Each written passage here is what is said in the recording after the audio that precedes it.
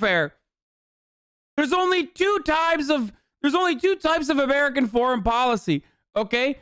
Avoiding human rights atrocities that our allies are committing and literally giving them money so they can do more of it or giving them weapons so they can do more of it or directly doing the human rights atrocities ourselves. Oh god, I hope I hope the fucking Matt Yglesias as a counter. or or trying to